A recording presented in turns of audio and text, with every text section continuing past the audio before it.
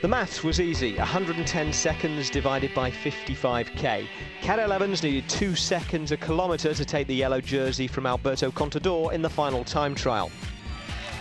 59 seconds behind Evans, Levi Leipheimer was a bit of a forgotten man, heading for third place on the podium in Paris without ever featuring much in dispatches. But Leipheimer was out on the road, complicating the simple equation we'd all worked out. Yes, Evans was gaining on Contador, but not as fast as Leipheimer was gaining on him. The leader of the Discovery team was setting best times at all the checkpoints. Well, this could all very much go down to the last 500 metres of this 55.5 kilometre individual time trial.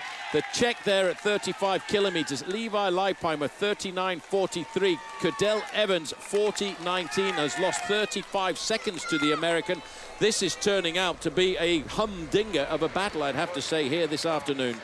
The last man to get to that time check, though, Phil, is going to be the yellow jersey, and then we'll get an indication as to whether or not Alberto Contador is going to run out as the yellow jersey. It really, I don't know which way to pull.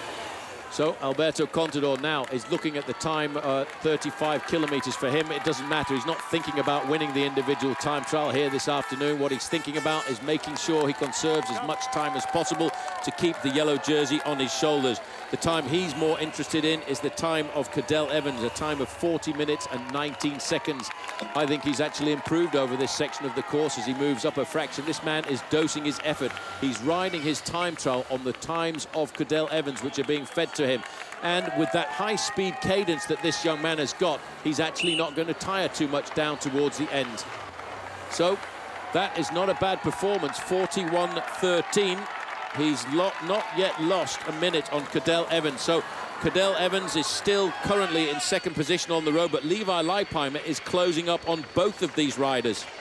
Uh, Cadel Evans knows now that he's being closed in by Leipheimer, and it could even be at the end of the day that he'll just find he's still in second place behind a different name, if that's the way it's going to be. This young man here at 24 He's built for mountains. He's not built for pure speed. And I think his stamina at 24 in his first Tour de France, when he was sort of thrown into this yellow jersey, might be proving a little bit too much. He's still pulling out an incredible time trial in the Tour de France.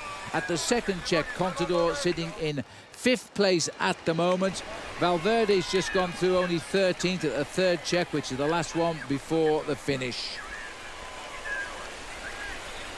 Well, as we look here at Cadel Evans on the left, Evans is second overall at 49 seconds to Alberto Contador. He's closed it down from 1 minute and 50 seconds. He's still looking for 49, and behind him, Leipheimer is also closing the gap. Well, this is Carlos Sastre. He was 11th there that last time check. I have to say, Paul, we've never seen live Levi ride like this. We've seen him ride brilliant time trials, but this one is very, very special. He's seeing yellow, and he's just going for that yellow jersey as best he can. Well, this is an incredible sight here. Sastre's trying to hold Levi Leipheimer in sight as he can. It's going to be a long haul up here. Valverde's heading for the finish now. It'll be a, not a great time, better than the one he did in Albi, mind you. And he's trying just to consolidate or hold on to sixth overall. And he's got real problems from Kim Kirchen. Well, there's a lot of riders were battling in this time trial here this afternoon, Phil, to keep themselves in a high place in the overall classification. Theoretically, we would be waiting for Haimar Zubeldia to come in next, and then after that, it should have been Sastre. But it's not going to be that way at all because uh, the next man to come in should be Haimar Zubeldia. But then after that, the next man to arrive will be Levi Leipheimer. Any moment now, we should get a time check at 50 kilometres covered, and that is the third time check of the day. Alberto Contador is doing the time trial of his life here this afternoon, and he is still holding on to a 40-second advantage over Cadel Evans. And I wonder if that nasty little climb at 50 kilometres to go is going to help the Spanish climber because he's using a much smaller gear than Cadel Evans on the left-hand side. Cadel now starting to get that little bit of a nod. He's using a big gear and it's very difficult to not to get tired using a massive gear like that. Contador whips around the corners, round that traffic circle, no problem at all. Nice and fast. He's riding now like a downhill skier, keeping the pace up, not losing any momentum at all. Out of the saddle once again. He knows how important this race is going to be for him here this afternoon. Now, Levi Leipheimer has just gone through the 50 kilometre time check with a new best time, 57 minutes 14.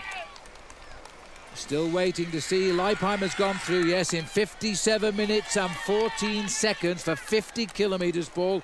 That's about 31 and a half miles in 57 minutes. It's unbelievable the ride that Levi Leipheimer is doing here this afternoon. And I'll tell you what, I've got a funny feeling that when uh, Cadel Evan gets, gets to that time check, Cadel may well have gone behind Levi Leipheimer in the overall classification.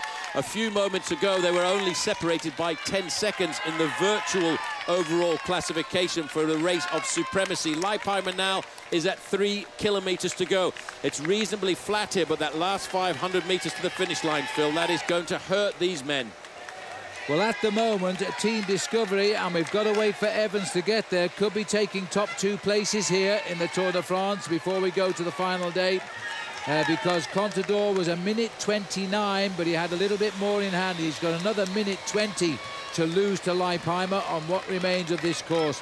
Leipheimer now 11 seconds at these time checks as far as we can work out. The clock will reveal all when uh, Cadel Evans gets to this 50 kilometre check. Then he will have 5.4 kilometres to race to the line. He's racing for the yellow jersey, but is the man behind him going to spoil the party? Well, at the second time check, Cadel Evans had lost 35 seconds on Levi Leipheimer. Yes, he'd pull back time on the Spaniard who was leading this race at the start of the day, but he seems to be losing time with every kilometre and every pedal stroke now, Phil, to the man who wears number 111, Levi Leipheimer. And this is a very difficult part of the course. This is on the other side of the town of Angoulême, the climb up to the time check at 50.1 kilometres. Well, at the finish, the arrival of Zubeldia here at a minute six and counting. Another good ride by a man who started the day in the top five places and should hang on to his position overall as they go up to the finish. It's been a tough day in the time trial. All of the action, of course, saved till the back. And it looks as though the back riders are going to win the time trial and the Tour de France today. He gets in in 16th place, 1.650 for Zubeldia. That's a good ride for that man. He gets to slow down, back to Evans. Well, Cadel Evans now is getting out of the saddle, looking at this time check at 50.1 kilometres covered. That's just over the summit of this climb.